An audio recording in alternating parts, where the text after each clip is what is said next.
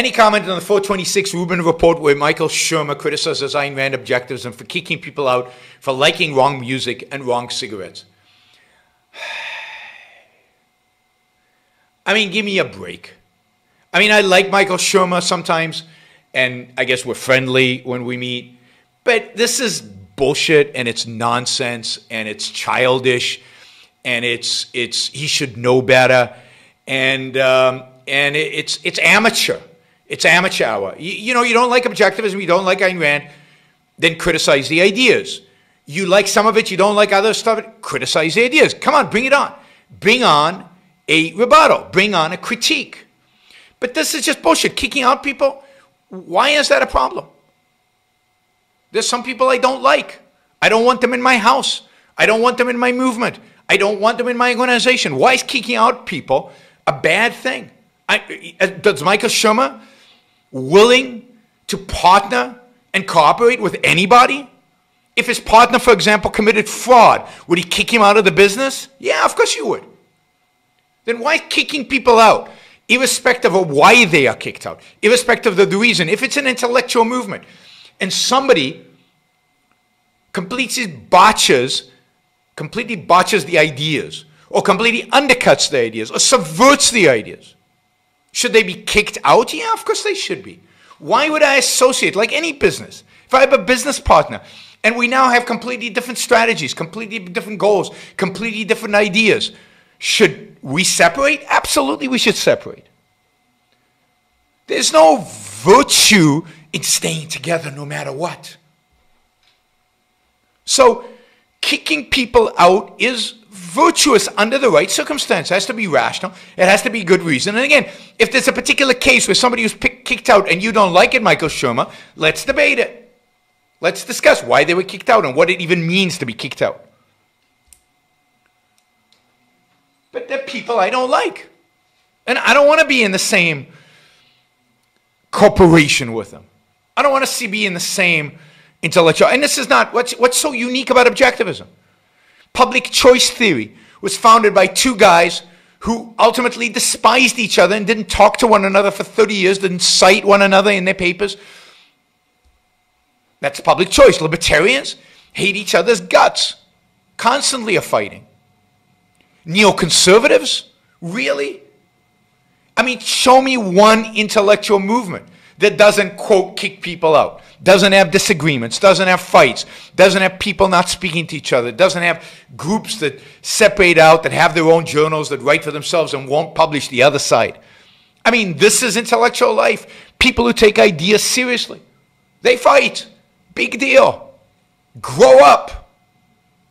I mean, it's only people sheltered within some kind of cluster, cloister that, that are not engaged in the real world where you don't fight. And then kicked out for writing the wrong music. I mean, that is such a cliche and that is simply untrue. Nobody is being kicked out for liking the wrong music. Kicked out of what? Kicked out of where? Just because of the music? There was nothing else going on? There were no other issues? And this wrong cigarette? Really? I've never even heard that one, and I've been around objectivists for, you know, for 40 years. Is that true? Yeah. well, objectivists, maybe for less than 40 years, but I've been studying Ayn Rand's ideas for, for 40 I, I first read Ayn Rand in 1977.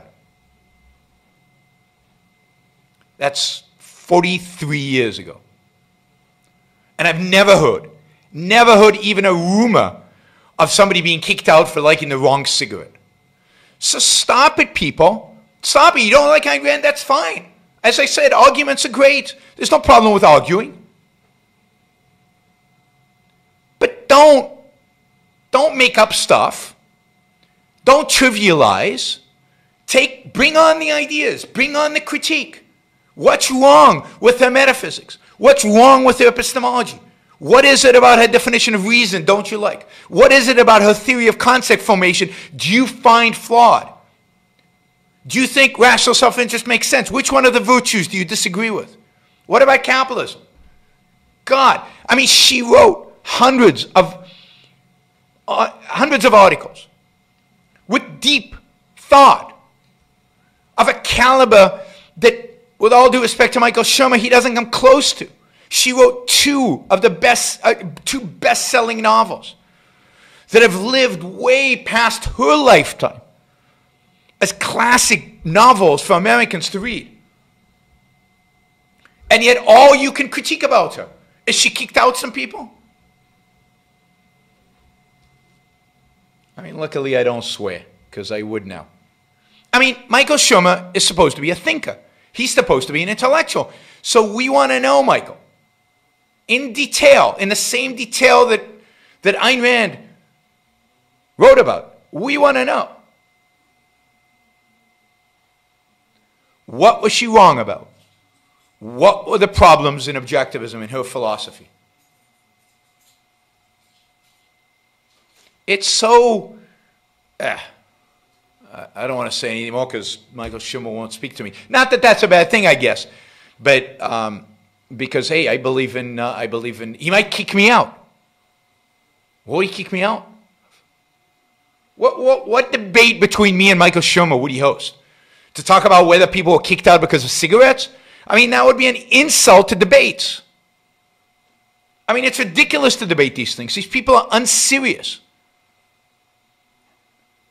You want, you want to debate philosophy, then let's debate philosophy. But put this stuff to the side, get rid of it.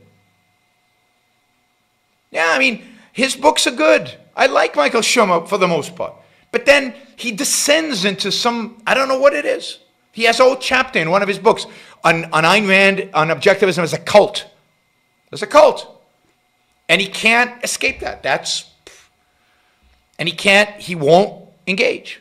So, screw. What we need today, what I call the new intellectual, would be any man or woman who is willing to think. Meaning, any man or woman who knows that man's life must be guided by reason, by the intellect, not by feelings, wishes, whims, or mystic revelations.